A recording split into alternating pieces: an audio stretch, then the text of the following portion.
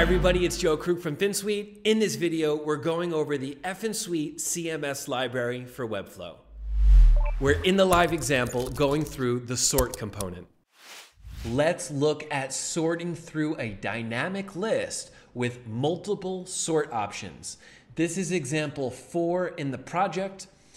Think of example four as a sexy add-on to example three. We're going to be using the combine component along with the sort component so that we can sort by many projects. Look at this. We are combining five different collection lists into one single list. And you can see this all the way down to 500. So we're combining five lists. We're going to sort through all five of those lists because all five are now part of one single list wrapper. So let's get to the top here and we have four options to sort by. We're going to sort by project number, color, year, and service. We can only sort by one at a time. So if I go and sort by project number, you'll see that it is sorting by project, ascending and descending.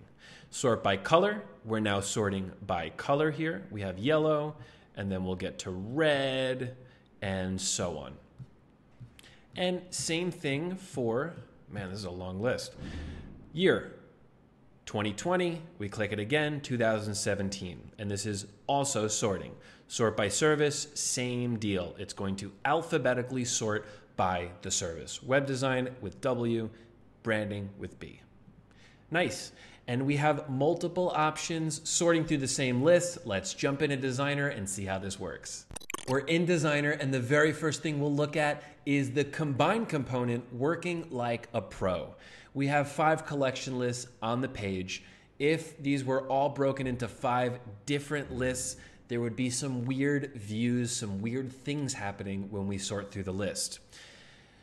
Let's look at this first collection. We are showing 100 and then we are showing the next 100 and so on. You can see this line break here, breaking up the different lists in our example that we were just looking at, there was no break, there was no border. These are all being combined into one single list so we can sort through them easily. The next thing we're going to look at is the class on this button. All of these buttons, these sort buttons, have a class of filter button. Nothing unique is needed. It does not need to be an add-on class or ID or anything. We just need filter button. Where the magic happens is the data attribute of sort by. So if I go into the project number filter button, I have sort by class name. And if I go to color, sort by dot, which is class color. Year, year is sort by year, and service is sort by service. So what it's doing is searching for this class, services, and then it's going to sort by the text information inside that class. So if I go to services, we see this is a services class. It's searching for the text inside of this.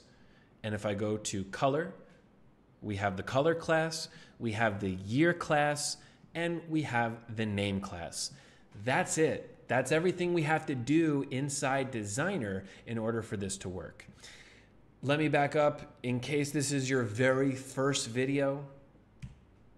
We do need to have a class on the collection list element. Collection list element, we have our collection dash list class. Now let's go into custom code and watch all this work. We're in custom code, and the very first thing we're going to do is add the Finsweet CMS library to the page. As you can see, this is not the real script file. When we launch the library, we'll have a hosted file ready for you to use. Next, we have our project-specific script. And in this, we are going to run a function that happens immediately. This function will happen right away. It's going to create a new FS library instance, and that instance is going to be targeted to the collection list. This entire new instance is going to be stored in a variable called projects grid. And now we can use projects grid later on in the code.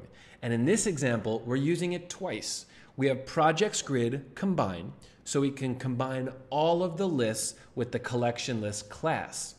We're also going to take projects grid and sort projects grid. We have our sort trigger. It's going to be the filter button. Remember, we don't need unique classes. We have four sort options and they all have the same class, no problem. The data attribute is what controls how it sorts by. Sort reverse, true, that means it's going to sort in descending order. We have our active class, sort active. This is where active class totally makes sense, where it is actively sorting by name. It's actively sorting by year or sorting by nothing. Animation, duration zero. I recommend having a duration of zero because nothing is leaving or entering the grid. Animations are only going to work with this library when items enter or exit the grid. Nothing is enter or exiting, it's just sorting. So duration zero looks the best to me. If you want to play around with that, see what it looks like when you do apply an animation, go for it. That's it. That's all we need in order to sort 500 items on a page inside of a dynamic list. That's effing sweet.